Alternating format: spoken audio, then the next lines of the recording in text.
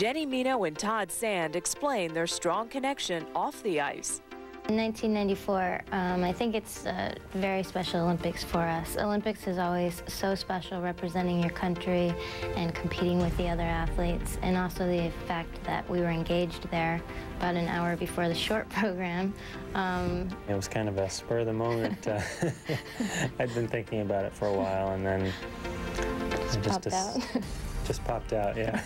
and um, actually, we kind of kept it to ourselves because, you know, we were competing in the Olympics.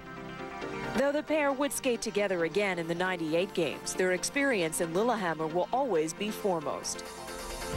It was to skate the best you can at the Olympic Games is probably one of the biggest thrills in sports, I think. And uh, that was definitely a high point for us in 1994. And I think the amazing thing about the Olympics, there's always so many American uh, fans there, and they have the flags and the, you know, the sweaters and the hats, and it just, I don't know, it's really an incredible feeling and something that you really can't describe, seeing all those people up there when you're, when you're out on the ice and when you finish your performance.